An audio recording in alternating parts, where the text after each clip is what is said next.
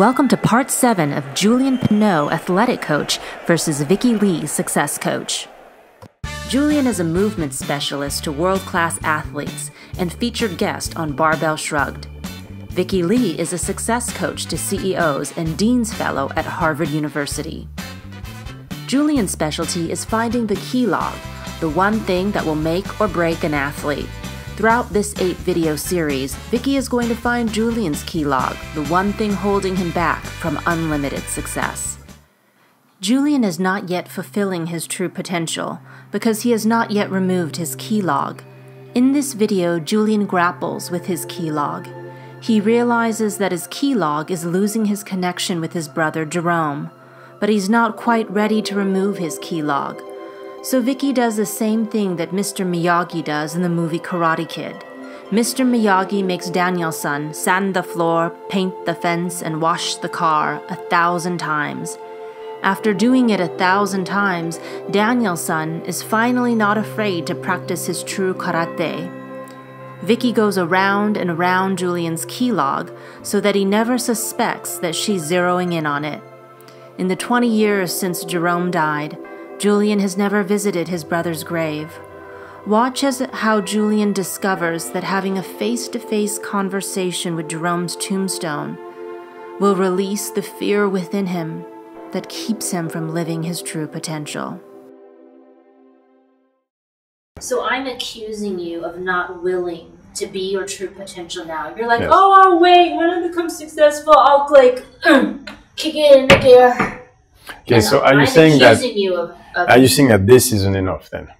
That's all, that's me using just my one percent just to create this, but I could do more. Let me give you an example of Mm-hmm. someone who who let that be enough hmm and didn't bring the 99% of him with it. Into it, hmm Who allowed his 1% and be content with it. And evolve the science of his fitness. hmm And the other 99% of him hmm didn't go along for the ride. So I'm in, I'm talking about Coach Glassman. I can see that. I'm gonna let's talk about CrossFit. You told me before that CrossFit appeals to high anxiety people. Yes.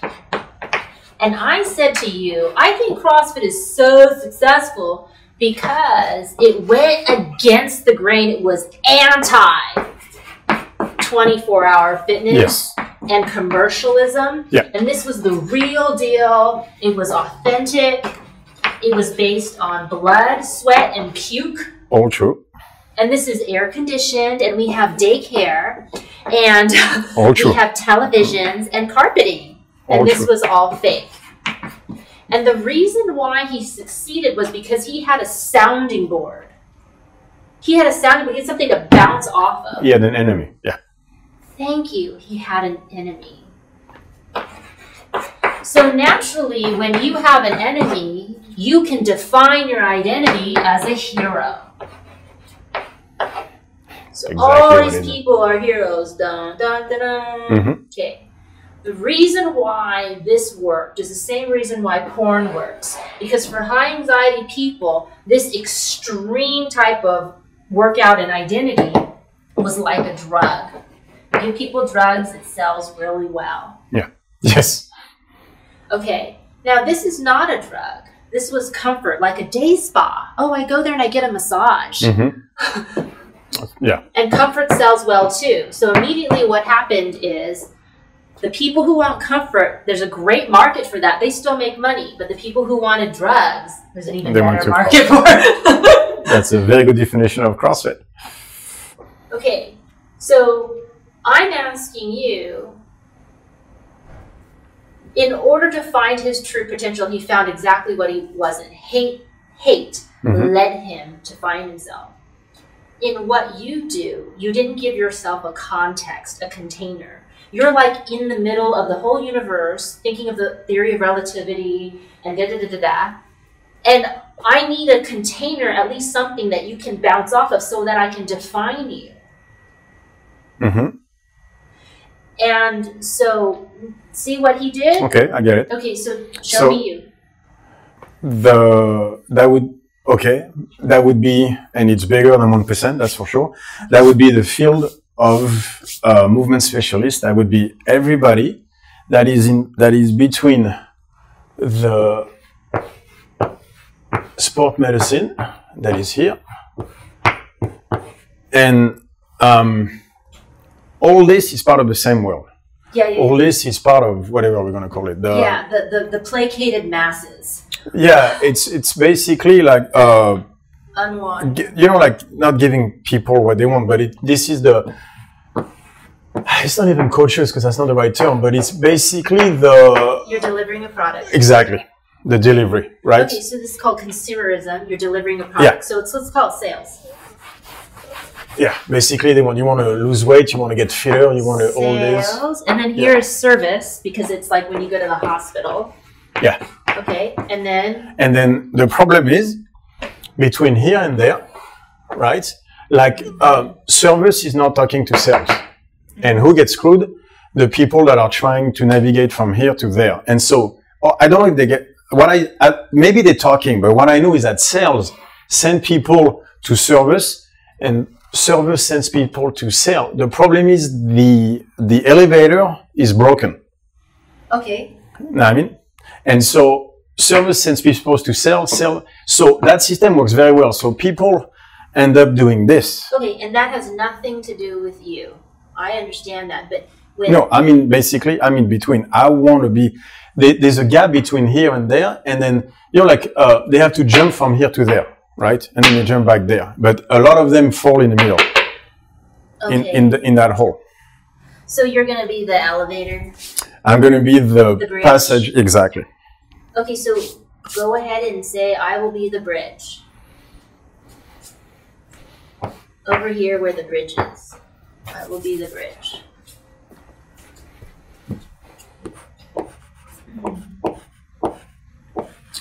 Okay, nameless, faceless bridge. No. No, no, no, no. No, because you know what? The the uh, the way the system is set up, everybody goes from here to there and back here. Everybody does. The problem is the bridge right now is really messed up. I can make a good bridge. That's so boring. You want to be a bridge. Like, I disagree why? because people are falling off the bridge. How many? This is where most people get hurt. Is in between those two. This is 99% of the population is over here. That's like 4% of Uh, no, no, no, no. Uh, everybody in the population goes from here to there, back and forth, back and forth, back and forth, back and Okay, forth. let me tell you the effect on me. It's not exciting me. I'm bored. You're a bridge. Tell me you- something else. Okay, when you're hurt, Uh, you'll be very interested.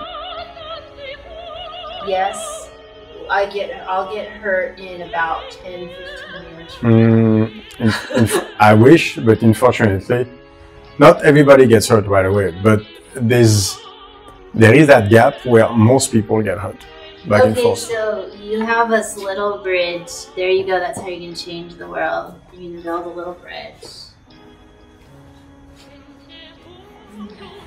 Uh-huh.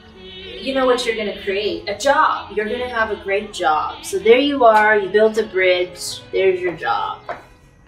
Dun, dun, dun, I have a job. I'm a bridge. Correct.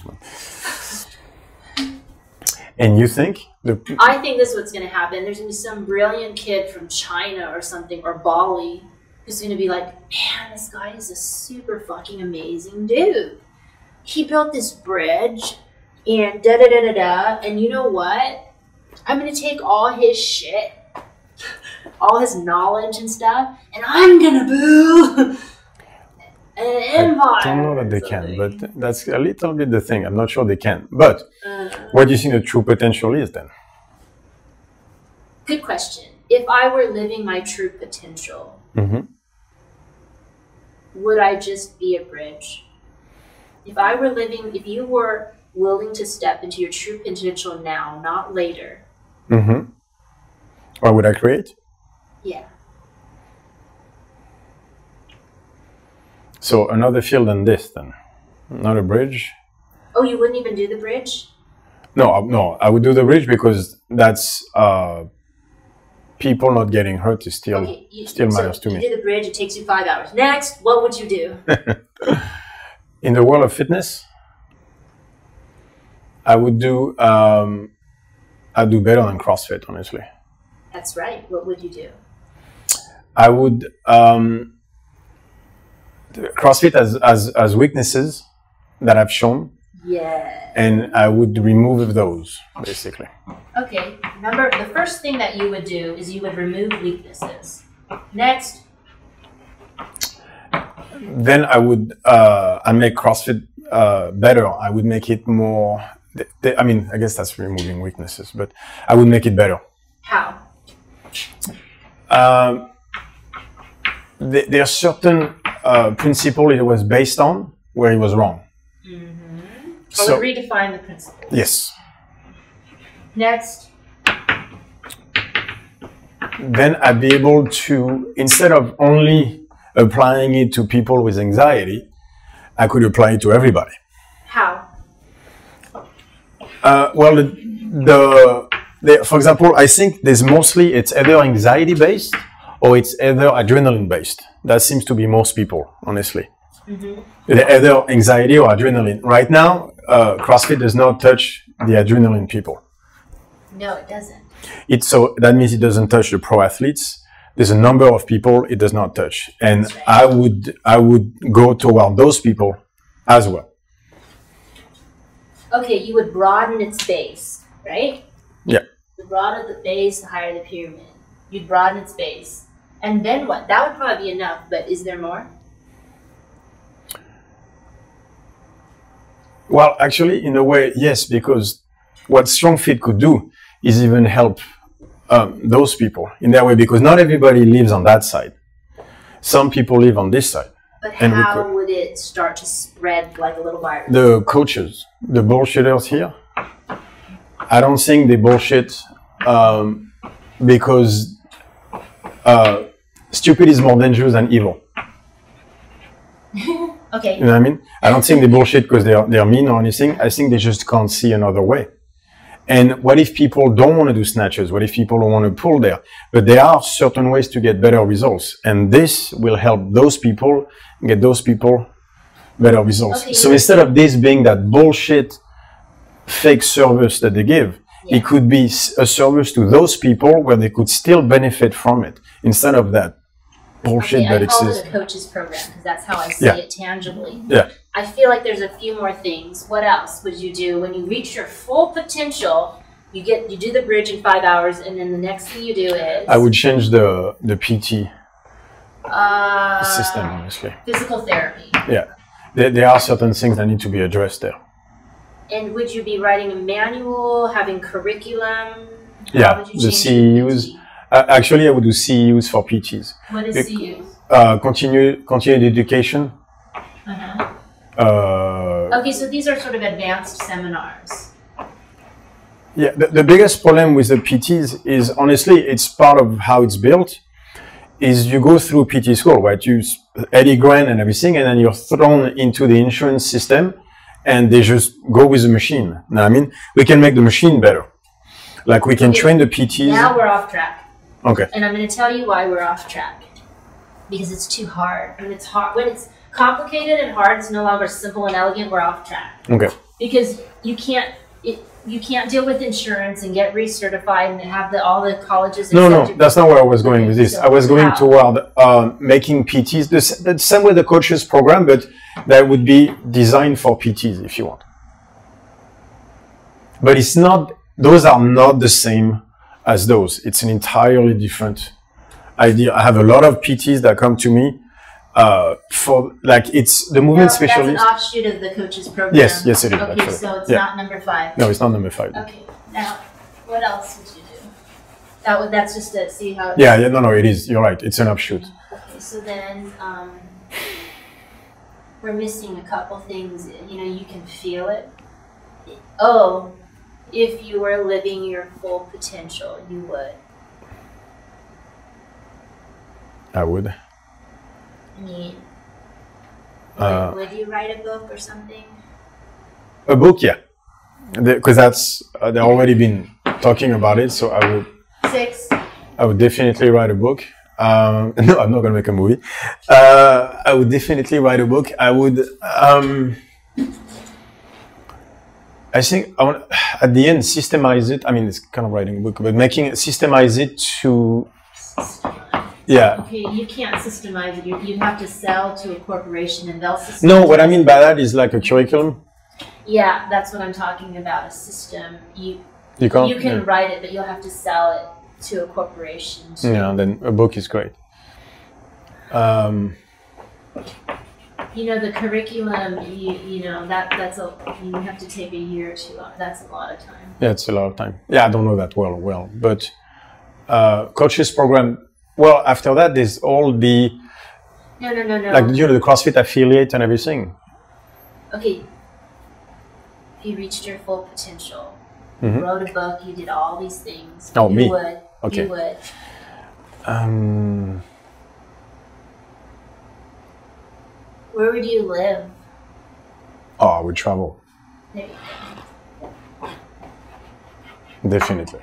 And you would spend more time being a dad than a movement probably. specialist. Yeah, You would be a dad more than you would be a movement specialist. traveling sounds Or Really a good, lover, so- or whatever you Yeah. are, that's not that. traveling. Actually, it's probably that would be my truly the That's would be traveling. Yeah. And there's one more thing. If I reached my full potential, kind of in honor of Jerome or whatever, I would. If I reached my full potential, If I reach my full potential, in honor of my brother, I would. Uh, that one is more stuck. If I were, okay, so if I were to reach my full potential in honor of my brother, I would. I mean, I would live in the world, obviously, but um, that's kind of trouble, I guess.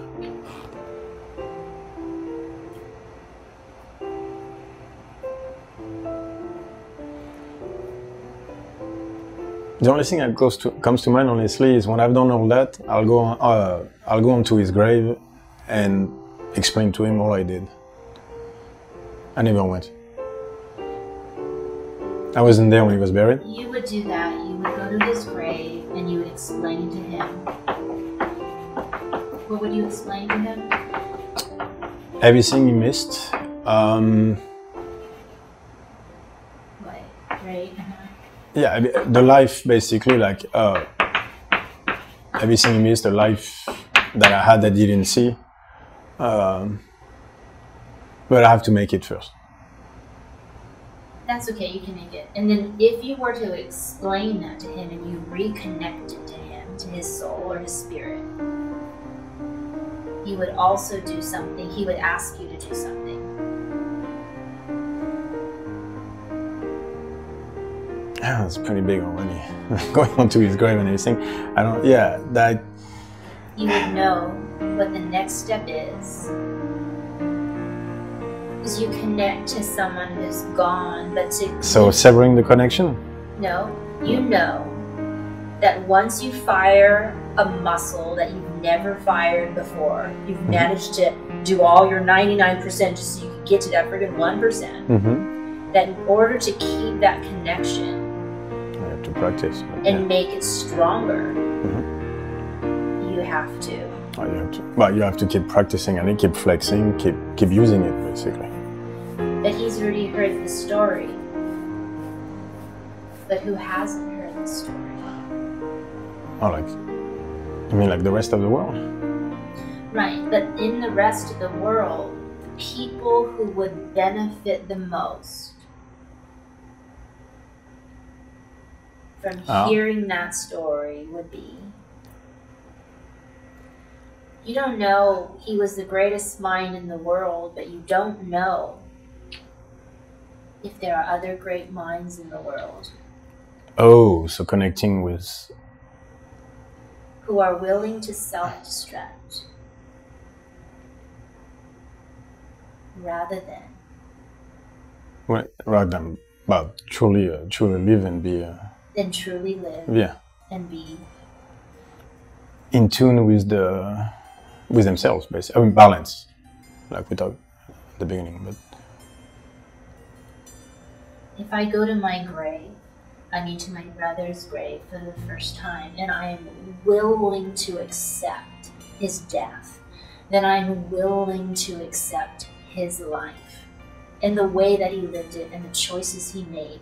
And I know that he is not my only brother, that there are other brothers in the world that have the same great mind and the same and willing to connect, yeah, life. And willing to help them. What would Jerome want? He'd want to live again and do it right this time. You'd have to give him a chance. But he doesn't have a body. But there are others like him. That I could help And then you could see your brother in making a different choice in them. That would be really hard. Why would it be hard? Well, it'd be you know facing uh, Watching it all over again. how much I miss him, basically, which is hard enough And to And this block. time, instead of dying, he lives. Yeah, and yeah, and that means remembering every single time that it's you know that he did die, even though he lives in them every time. But And seeing it a million times. Mhm. And half of them make it. that'd be cool too, actually. In order for your heart to open, it first has to break. If Even if one made it, that'd be cool. Even one. Yeah, one made it, that'd be that'd be enough, right? It would take, oh, yeah, but that's that comes after all this, because that would take so much out of me. I'm going to tell you the long way and the short way. You want to know both or just one? No, both. The long way is it to do it like this one, two, three, four, five, six, seven. And the short way is to do it this seven, one, two, three, four, five, six.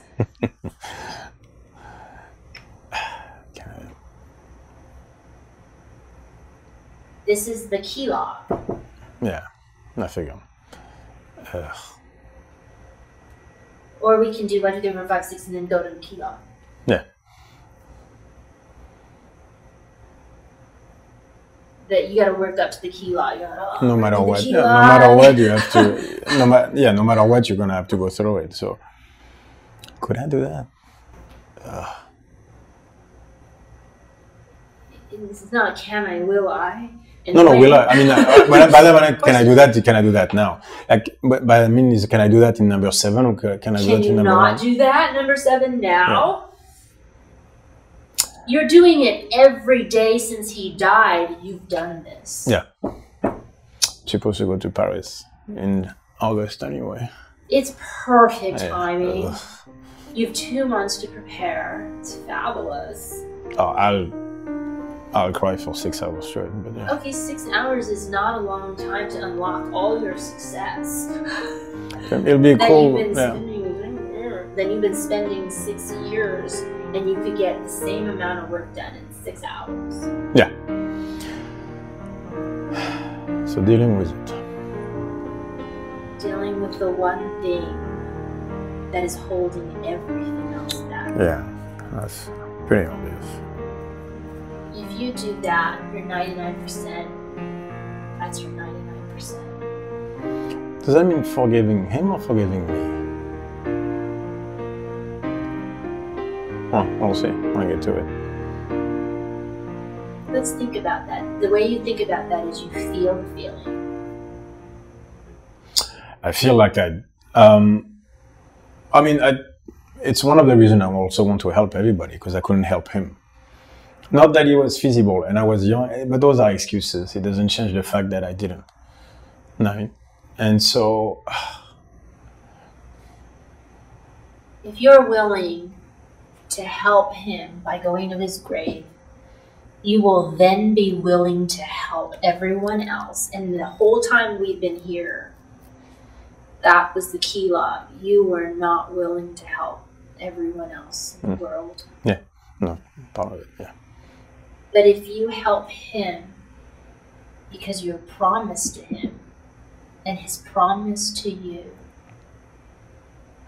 to be part of infinite intelligence forever and play with it, then you will be willing to help the rest of the world. And that's your true potential. Hmm. Everything else is detail. I'll do it the short way.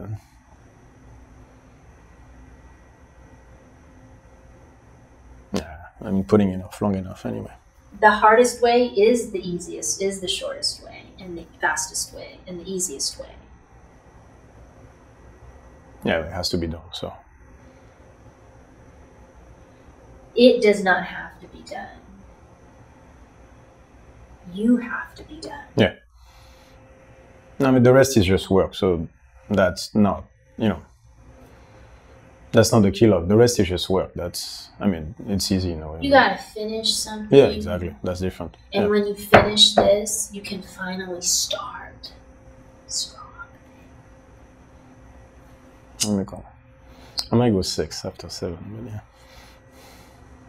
Okay, fine. But this is August, whether you do six or not. Yeah, no, no, what I mean is after seven, I'll, Do six. the true, um, the true road really, and I know is six. It's traveling, is going to, doing it in Australia, doing it everywhere, doing, I mean, and not being stuck in torrents, that's the true way. Which is basically not your cave. Yeah. The true way is not to be in the cave. Yeah. That's, it's living here and, you know, going to Australia, going to those places to, uh, cave. do the rest. Yeah. But that I could feel, like the the life forward was like you know two months here, two months there, stuff like that. That I know that for a while now. He said the Jedi and whatever his plan was, we don't need him anymore. We have children. And our 99%. The Jedi already gave us the 1%, so we don't need him anymore. That's we took his yeah. stuff. Mm. We're ready to go. No, that's the path. It's just that would be so strange. Because man, that's a conversation I have every single day. So yeah. you had that conversation every so many times. day. So many times. So that would be that'll be interesting. It'll be a condensed conversation in an hour, but yeah.